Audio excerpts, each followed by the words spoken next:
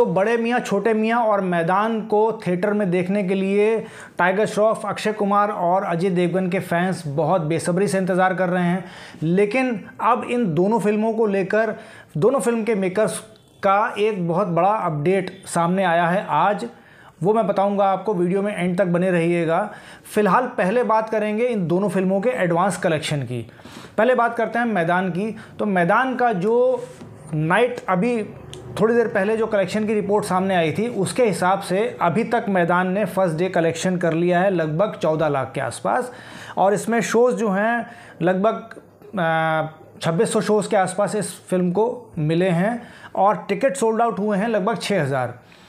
और इसी तरह से बात करें अगर बड़े मियाँ, छोटे मियाँ की तो तेरह लाख छिहत्तर हज़ार कलेक्शन इस फ़िल्म ने कर लिया है एडवांस का और शोज़ मिले हैं छब्बीस सौ अस्सी और लगभग पैंतालीस सौ के आसपास टिकट सोल्ड आउट हो चुके हैं। लेकिन अभी थोड़ी देर पहले की जो रिपोर्ट के सामने आई है, वो शाम की रिपोर्ट से थोड़ा सा थोड़ा सा नहीं, लगभग बहुत ज़्यादा फ़र्क है उसमें। शाम को छः बजे की जो मैं रिपोर्ट देख रहा था, वो मैदान की रिपोर्ट जो थी, वो सत्ताईस लाख के आसपास का कलेक्शन इस रिपोर्ट में, शाम की रिपोर्ट में बताया जा रहा था। और जो टिकट सोल्ड आउट हुए थे, वो भी लगभग चौदह हज़ार, और शोज़ जो मिले थे, वो तीन हज़ार के आसपास। और इसी तरह से बड़े मियाँ, छोटे मियाँ की जो एडवांस कलेक्शन की रिपोर्ट सामने आई थी शाम की, वो आई थी फोर्टी थ्री लैक्स साढ़े तीन हज़ार शोज़ जो बड़े मियाँ, छोटे मियाँ को मिले थे और करीब बारह हज़ार टिकट सोल्ड आउट हो चुके थे। इतना बड़ा फ़र्क जो आया शाम की और रात की रिपोर्ट में, रात की रिपोर्ट तो आधे से भी कम है, लेकिन इसका रीज़न नहीं पता। शायद टेक्निकली कोई डेटा मिस हो गया हो या कुछ भी हो सकता है। शायद ये रिपोर्ट कल मॉर्निंग में जो आएगी, उसमें हो सकता है करेक्ट हो जाए। तो अभी हम नहीं कह सकते, फ़िलहाल ये रिपोर्ट थी। इसके अलावा हम बात करेंगे दोनों फ़िल्मों के बारे में। मैदान, जैसा कि मैंने पिछले वीडियो में बताया था कि रियल बायोपिक फ़िल्म है, सैयद अब्दुल रहीम साहब की ज़िंदगी पर ये फ़िल्म बनी हुई है, जिनको आप देख सकते हैं इस फ़िल्म में टीम इंडिया को, यानी कि फ़ुटबॉल टीम को कोच करते हुए, जिन्होंने उन्नीस सौ इक्यावन से उन्नीस सौ बासठ तक फ़ुटबॉल टीम को कोच किया था और दो गोल्ड मेडल भी फुटबॉल टीम को जितवाए थे। इसमें सबसे पहले तो प्लस पॉइंट है अजय देवगन। अजय देवगन की आज की डेट में कोई भी फ़िल्म फ्लॉप नहीं हो रही है और जो अजय देवगन के फैंस हैं, वो किस कदर उस फ़िल्म का इंतज़ार कर रहे हैं, ये भी आपको मालूम है। और फ़िल्म की हाइप भी बहुत अच्छी है, हालाँकि प्रमोशनल एक्टिविटी मैदान की बहुत ज़्यादा नहीं की गई है, मगर फिर भी लोगों को मैदान का इंतज़ार है, बेसब्री से इंतज़ार है। और मेरी जो फ़र्स्ट चॉइस है, दोनों फ़िल्मों में वो मैदान ही है। बाकी कमेंट में बताइएगा कि आप कौन सी फ़िल्म देखना चाहेंगे। अब बात करते हैं हम बड़े मियाँ, छोटे मियाँ की।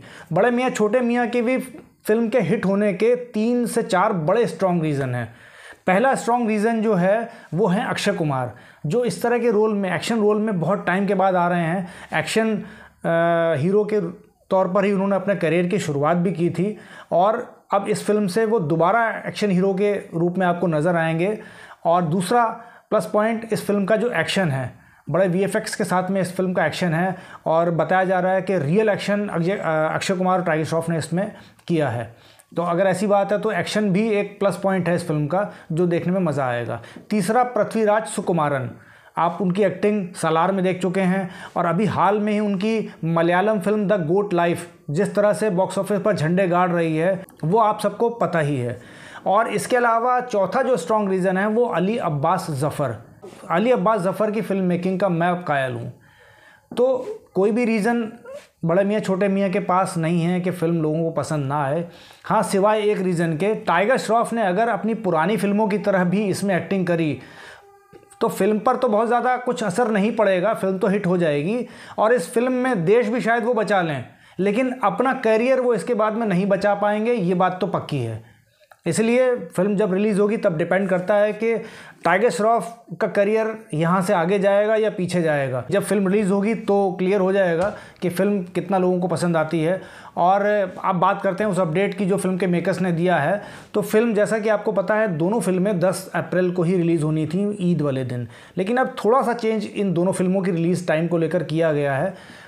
फ़िल्म 10 अप्रैल को ही रिलीज़ हो रही है, मगर मॉर्निंग और आफ्टरनून के शोज़ इस फ़िल्म के नहीं रखे गए हैं। उसका रीज़न ये है कि ईद शायद 11 अप्रैल की है, मगर फ़िल्म 10 अप्रैल को ही आ रही है, लेकिन इवनिंग शोज़ इसके रखे गए हैं, इवनिंग और नाइट शोज़। 11 अप्रैल को आपको इसके मॉर्निंग और आफ्टरनून शोज़ भी देखने को मिलेंगे, लेकिन फ़िलहाल 10 तारीख को आप इसके इवनिंग और नाइट शोज़ देख सकते हैं। ये एक छोटा सा चेंजेस है। मुझे लगता है कि इसमें कोई भी दिक्कत वाली बात नहीं है। मेरी तो मैं दोबारा से बोल रहा हूँ कि फ़र्स्ट चॉइस जो है वो है मैदान। कमेंट्स में ज़रूर बताइएगा कि आप किस फ़िल्म को पहले देखना चाहेंगे। और बाकी आज के वीडियो में इतना ही। मिलते हैं किसी अगले वीडियो में। जय हिंद।